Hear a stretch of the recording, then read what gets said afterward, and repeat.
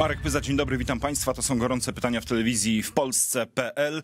Sierpień to czas historycznych rocznic y, albo ich obchodzenia, albo przygotowywania się do kolejnych. O tym będziemy mówić dziś w programie, a moim gościem jest dr Karol Nawrocki, dyrektor Muzeum II Wojny Światowej w Gdańsku. Dzień dobry, panie dyrektorze. Witam panie redaktorze, witam państwa. Dzień dobry. I pierwsze pytanie, czy przyjął pan już zaproszenie od pani prezydent Aleksandry Dulkiewicz na obchody rocznicy wybuchu II wojny światowej 1 września na Westerplatte? To jest, panie redaktorze, chyba e, tego typu zaproszenie, które nie do końca zostało e, wysłane, bo pani prezydent mówi, że wysłała zaproszenia najważniejszym osobom w państwie, ale jak myślę też instytucjonalnym partnerom e, z Pomorza, przynajmniej tym, którzy zawsze takie zaproszenie dostawali. Ja takiego zaproszenia nie dostałem, choć każdego roku takie zaproszenie e, trafiało. Mnie zdziwił sam fakt, że pani prezydent wysyła zaproszenia, skoro jest e, ustanowiona specjalna ustawa o Westerplatte, podpisana przez pana prezydenta w 2019 roku i w związku z tym pani prezydent wie, jaki jest e, tryb postępowania wokół e, Westerplatte, a tymi zaproszeniami, które zdaje się nigdzie nie dotarły, stara się wywołać pewną polityczną burzę, co, co mnie dziwi i niepokoi. Ale jaki mamy stan jaki prawny mamy w tej chwili, panie dyrektorze? No bo mamy sierpień kolejny i kolejny spór o to, co będzie się działo 1 września na Westerplatte. Ministerstwo Obrony Narodowej zabiera organizację uroczystości. Po raz pierwszy to wojsko będzie e, gospodarzem tych uroczystości 1 września na Półwyspie. Zabiera je władzom Gdańska. A pani prezydent Dulkiewicz oburzona przypomina, że teren Półwyspu wciąż w dużej części należy do miasta. Czy ma rację? Panie redaktorze, ja myślę, że tutaj semantyka też jest e, ważna, bo tak naprawdę ta tradycja, jak mówi pani prezydent, która e, rozpoczęła się w roku 99 współorganizacji tych uroczystości e, od współorganizacji tych uroczystości przez samorząd jest bardzo krótka. Trzeba pamiętać, że w imieniu rządu e, polskiego po roku 1918, w roku 1919 e, o Westerplatte upomniał się Mieczysław Jałowiecki, potem od roku 26 był polski żołnierz na Westerplatte. 2000 polskich żołnierzy przeszło e, przez Westerplatte. W roku 1946 gospodarzami tego miejsca, wznoszącymi cmentarz na Westerplatte byli, byli żołnierze. Po roku 8, w międzyczasie, w 1987 był wielki papież Polak na Westerplatte, a w latach 90. te uroczystości organizował biskup polowy Wojska Polskiego e, i harcerze, więc ja nawiązuję do, do słów pana redaktora e, mówią, mówiących o zabraniu czy zajęciu. To jest po prostu powrót e, do tradycji. To jest tak naturalne, że minister obrony narodowej organizuje te uroczystości, że nie podlega w imieniu polskiego państwa i polskiego rządu, że to w ogóle nie podlega żadnym wątpliwościom. Natomiast jeśli pan redaktor pyta o stan prawny, to on jest taki, że od 2019 roku e, głosami parlamentarnej większości została przyjęta specjalna ustawa. Ona zawiera w sobie cały tryb postępowania e, formalno-prawnego. Ten tryb jest realizowany. My złożyliśmy jako przyszły inwestor wskazany w tej ustawie wniosek do pana wojewody. Jeśli pan wojewoda ten wniosek rozpatrzy pozytywnie, to w okolicach 10 E, sierpnia. E, ta działka, na której znajduje się pomnik, na której są uroczystości, e, będzie w zarządzie Muzeum II Wojny Światowej, więc pani prezydent miasta Gdańska albo nie zna prawa, do którego się odwołuje i które w Polsce funkcjonuje po podpisie pana prezydenta, albo kolizyjnie E, powoduje, e, powoduje zderzenie e, polityczne i, i, i, to jest niewłaściwe i nie do końca zrozumiałe. Ja myślę, że pani prezydent chciała skorzystać z tak zwanego window of opportunity, czyli takiego okienka możliwości, kiedy okej, okay, mamy ustawę, wiadomo co w konsekwencji tej ustawy się wydarzy, ale jeszcze te decyzje nie zapadły. My piszemy razem z Marcinem Wikłą w nowym numerze tygodnika sieci o tej mm, wojnie, o obchody 1 września na Westerplatte. Przyłożyliśmy trochę ucho w kręgach rządowych i z tego, co usłyszeliśmy, to jeszcze w tym tygodniu ma być decyzja wojewody y, po tej opinii, którą y, no, być może już ma gotową, a być może dziś, jutro będzie miała mm, gotową pani prezydent Aleksandra Dulkiewicz i wojewoda przekaże teren Półwyspu należący dotychczas do miasta na rzecz Skarbu Państwa i wszystko już będzie jasne. Ale skoro o tej ustawie mówimy, panie dyrektorze, ona obowiązuje już rok. Wciąż na Półwyspie No, wielkich zmian nie widzimy. Miało być muzeum, ono jest y, przygotowywane, ale jak znów się odwołam do pani prezydent Aleksandry Dulkiewicz, jak ona mówi, no zamiast tego będziemy mieli tylko jakąś jedną, małą, nową tablicę postawioną y, przed 1 y, września 2020 roku. Dlaczego? Na jakim mm, jesteśmy etapie? To pytanie zwłaszcza do pana, bo to pan jako dyrektor muzeum jest tutaj najbardziej odpowiedzialny za przygotowania. Tak, panie redaktorze, przede wszystkim trzeba sobie zdać sprawę e, z proporcji e, tej e, inwestycji. Otóż mówimy o terenie, który od lat 60. od budowy pomnika się nie zmienił. 30 lat zaniedbań III Rzeczpospolitej i 11 miesięcy funkcjonowania specjalnej ustawy. To są właściwe proporcje.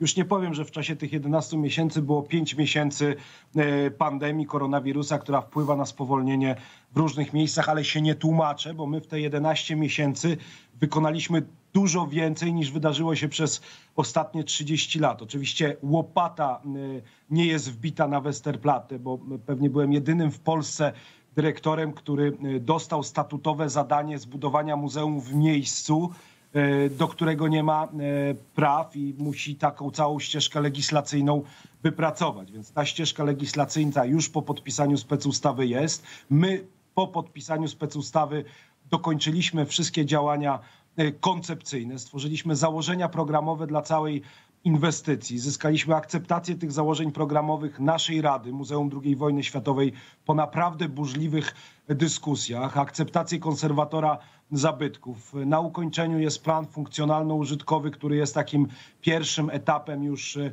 inwestycyjnym, formalnym E, on e, lada moment będzie skończony. Myślę, że jeszcze w tym tygodniu albo na początku przyszłego tygodnia ogłosimy konkurs na koncepcję cmentarza na Westerplatte, bo jednocześnie, co przypominam, drodzy Państwo, po odnalezieniu, panie redaktorze, po odnalezieniu szczątków naszych bohaterów na Westerplatte, które leżały tam od 80 lat, my jesteśmy zobowiązani także e, przygotować im miejsce godnego pochówku. Więc Ale dlaczego w, w takim razie, panie dyrektorze, pozwolę sobie przerwać, dlaczego trzeba to przygotowywać od nowa? No bo e, niektórzy powiedzą, no cmentarz na Westerplatte już jest, zresztą to ten, który widać za moimi plecami. No i za pana redaktora plecami e, widać cmentarz, na którym są tylko prochy Henryka Sucharskiego. Jest zaledwie kilka nagrobków, a na tym cmentarzu jest pochowany tylko Henryk Kowalczyk, który został ekshumowany na początku lat 90. ze Srebrzyska. My mówimy o 10 szczątkach podjętych e, z Westerplatte w zeszłym roku przez nas.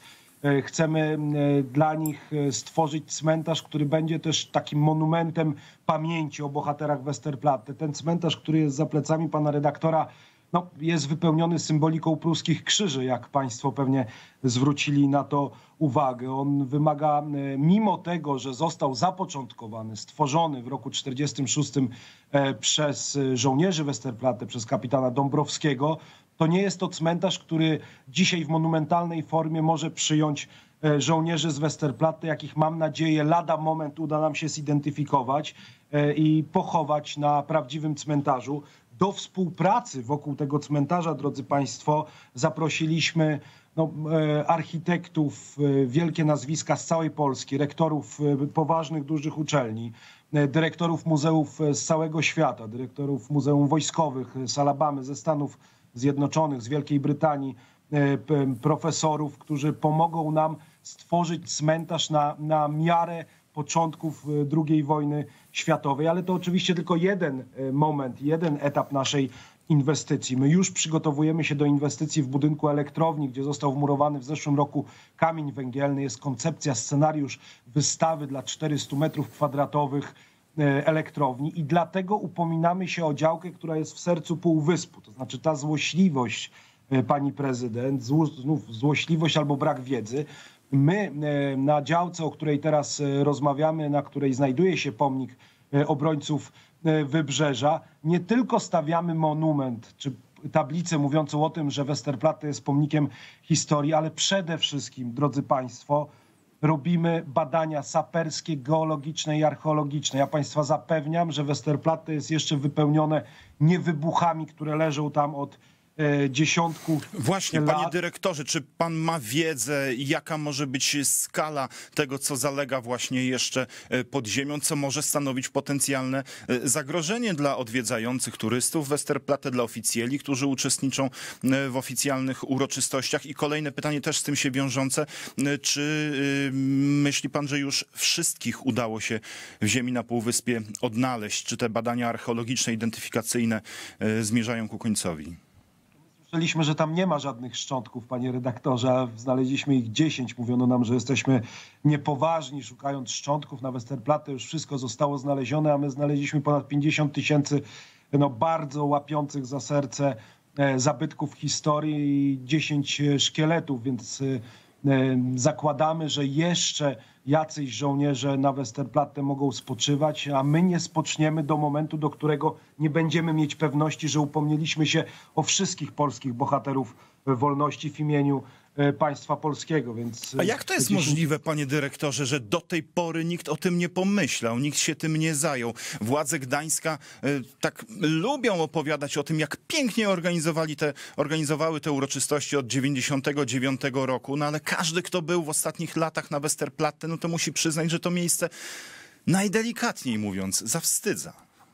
Dlatego mi wydawało się, panie redaktorze, że ja udałem się do pani prezydent na rozmowę wokół Westerplatte, prosząc o taki kompromisowy, koncyliacyjny ton naszej dyskusji. Jest przyjęte pewne prawo, my odpowiadamy za realizację tego prawa. Poprosiłem panią prezydent o linię demarkacyjną wokół Westerplatte, aby naprawdę nie robić politycznych bojów wokół 1 września. Trochę ciszy nad tym miejscem, nad Westerplatte, e, nad polskimi e, bohaterami. No ale po tym naszym spotkaniu e, okazało się, że pani prezydent szuka niestety konfliktu wokół 1 września. Mam nadzieję, że podobnie jak e, ze śmietnikami przy Poczcie Polskiej, jak z wystawą przy pomniku poległych e, stoczniowców przy słynnych gdańskich e, trzech e, krzyżach, także tutaj przyjdzie refleksja miasta i takie zrozumienie. To już jest batalia, która została e, zamknięta podjęciem specjalnej ustawy w sprawie Westerplatte. My odpowiadamy za inwestycje, jesteśmy do niej przygotowani, rozpędzeni do tego, żeby zbudować prawdziwe muzeum. I teraz szukanie takiego politycznego konfliktu ze strony pani prezydent mnie przede wszystkim smuci, bo Westerplatte zasługuje e, na ciszę, na refleksję, na łączenie Polaków wokół tego e, symbolu, ważnego dla wszystkich przecież Polaków. I mam nadzieję, że miasto wycofa się z tych takich uszczypliwych i, niezgodnych z prawdą uwag, że my stawiamy pomniczek. Nie. Pani prezydent, drodzy Państwo, my prowadzimy badania saperskie, bo e, ta działka zmienia swojego zarządcę. Ja nie mogę wziąć odpowiedzialności za tysiące Polaków, którzy przechodzą e, pod pomnik i przechodzą przez Westerplatte bez świadomości i bez e, takiego pozytywnego rozpatrzenia tego przez saperów, że ci ludzie są bezpieczni. Otóż Muzeum II wojny Światowej Państwowa Instytucja Kultury stanie się zaraz zarządcą tej działki i nie pozwolę sobie na komfort, w którym żyło przez 30 lat miasto, że tam nie ma ani szkieletów, ani bohaterów, ani niewybuchów, bo podchodzimy do sprawy poważnie. A czy pan czuje wsparcie Gdańszczan y, w tej skomplikowanej, y, żmudnej operacji, jaką pan prowadzi? Wydaje się, że y, Gdańszczanie to pokazują każde kolejne wybory. No raczej wspierają y, tę ekipę, która miastem rządzi. Dziś panią prezydent Aleksandrę Dulkiewicz. Raczej są po jej stronie.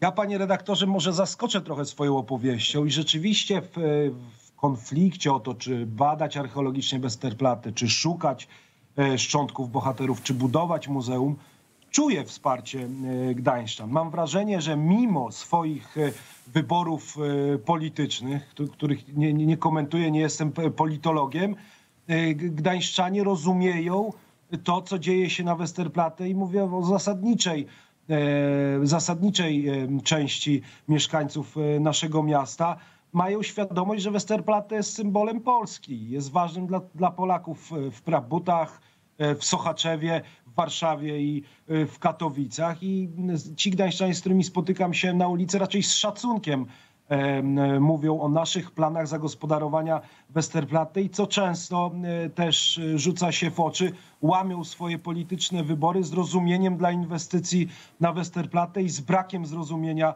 e, dla uporu Gdańska i pani e, prezydent e, w tej sprawie. Szczególnie to czuliśmy przy kwestii odnajdywania szczątków i szkieletów. Podchodzili do mnie mieszkańcy Gdańska na ulicy, mówiąc: Panie dyrektorze, nie do końca może zgadzamy się ze wszystkim, co pan robi i co pan mówi, ale szacunek za to, co udało się waszym archeologom zrobić na Westerplatte. Mieliśmy. A ja się pod tym, rację, panie dyrektorze, podpiszę na koniec, bo kończyć już y, musimy. Na pewno będziemy jeszcze wielokrotnie mówić o tym, jak zmienia się nareszcie Westerplatte. Dziękuję bardzo. Doktor Dziękuję Karol. Nawrocki, dyrektor Muzeum II wojny światowej w. Gdańsku, był naszym gościem. Dziękuję Państwu. Za chwilę wracamy. Y, Będziemy kontynuować temat, a rozmawiać będziemy o kwestiach politycznych bardziej. Politycy będą moimi gośćmi. Porozmawiamy o sporze o Westerplatte.